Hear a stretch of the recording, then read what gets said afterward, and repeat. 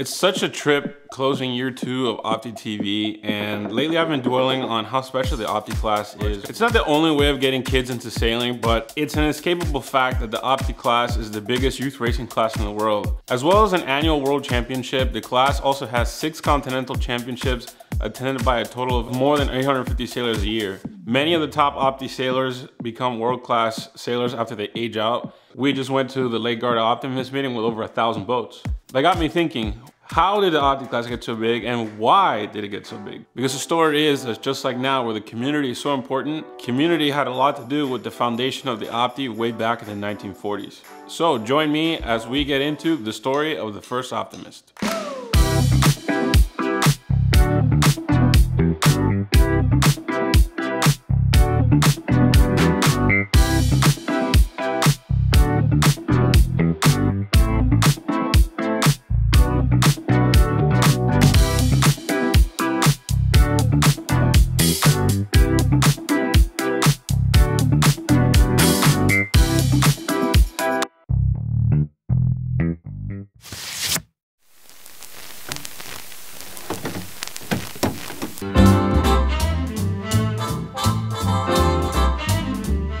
1945.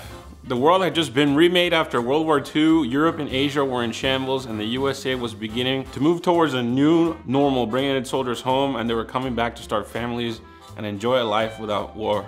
In Clearwater, this post-war America was looking to improve the lives of the kids that had lived through the war.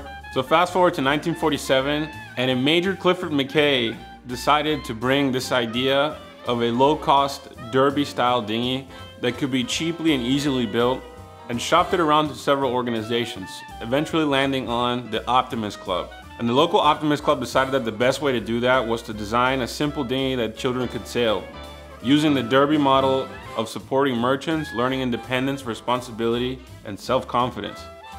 These were the foundational principles that the Opti class was founded on, and you're gonna see how that carries over into the rest of the story.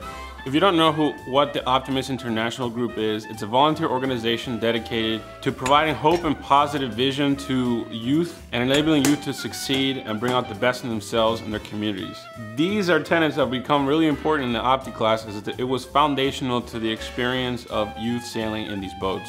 I find it really interesting that one of the core mission values of the Optimist International Group is to promote peace and international accord amongst all people, to aid and encourage the development of youth, and in the belief that giving one in self-service to others will advance the well-being of humankind, community, and the world. Interesting stuff, right? In the middle of August of 1947, Major Clifford McKay came into the weekly Optimist meeting at the Grey Moss Inn in downtown Clearwater and gave a speech on his vision on a low-cost dinghy and would be sponsored by local vendors. They loved the idea and they set Major McKay to task. So Major McKay came to Clark Mills, a local boat builder, to give him the basic framework and have him design a boat that would suit the needs. What he came up with was what later became the International Optimist dinghy, but it had a long way to go to get there. So actually here at Clark Mills Old Boat Shop in Dunedin, Florida that the first Optimist was actually built. Soon after he completed the prototype, he brought it down to Clearwater and met up with Major McKay and his son Clifford for the first ever sail on the Optimist, right here in Clearwater. After that, it was off to the races. They took the first group of Optimists after the prototypes were built and tested and brought them here to the Clearwater Yacht Club Basin for the first ever Opti race. That's right, it was here where the first Optimists got together and raced against each other. Although there were nothing like the Optis you sailed today, that tradition of competitive sportsmanship in the Opti class actually started only months after the first boat ever sailed. A small program, community program began out of the Clearwater Yacht Club and the Clearwater Junior Yacht Club over on Clearwater Beach. It was here on Baymont Street that kids would congregate and go sailing out of the old fish house here in Clearwater Beach. And by 1948, there were 20 something boats located right here that would sail almost every other day. And in 1949, something would happen that would change everything for the burgeoning Opti class here in Florida. The class was not established as a class. It was very local and very, very few clubs knew about it until 1949, where as fate would have it, an eventful fire would take out almost the entire fleet of boats, but that's when everything changed for the better. Because as they say, in disaster is opportunity.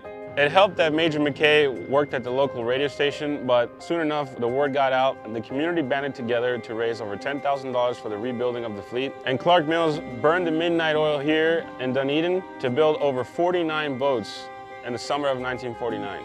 After the fire, newspapers picked up the story, the local sailing community beyond Pinellas County picked up the story, and many people heard of the Optimist for the first time. This was the pivotal event that brought the Optimist into a region-wide boat. So many people got into the boat after that. So many people saw the design and thought they could improve it. For the next few years, people kept tinkering with the Optimist, but nobody came close to the level of building that Clark Mills did back in the summer of 1949. Within the next year, there were already 43 new Optimists in the Clearwater area almost doubling the size of the fleet. The 50s also proved crucial to the development of the Opti class because in 1954, Danish architect Axel Damgaard Olsen learned about the design when he visited Clearwater while working on a freighter. There's a story associated with the Opti that he took one back to Denmark on a tall ship. There's not exactly evidence of that, but in his own writings, he says that he first saw the designs in 1954. By 1955, the Opti was already racing in Denmark. It would go through some design changes and new iterations until the class arrived into the 1990s and the 2000s when it was standardized into a one design class. The story of the first Optimist laid the foundation for the tenets of what the Optimist class would become in later years. To anybody who's not familiar with the Optimist, there's a reason why they still remain popular to this day.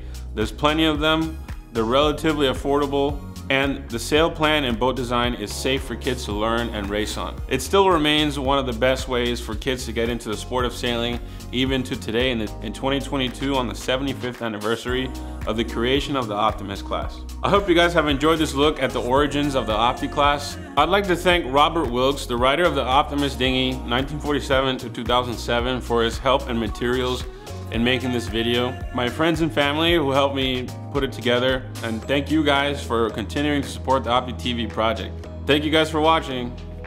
See you next time.